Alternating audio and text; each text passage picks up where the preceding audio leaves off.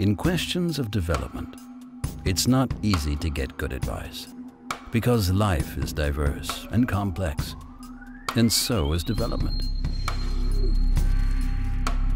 And within the broad field of sustainable development, you easily lose focus of all the interrelating aspects of sustainability. So, where to start? Well, for us, sustainability starts with awareness. And therefore, we train and educate young professionals in various aspects of sustainable development, such as water security, ecosystem management, and the livelihood of the poor. And because we have experienced that priorities of development differ from country to country, we build a dynamic network of competent partners around the globe to find local solutions for global problems through research and education.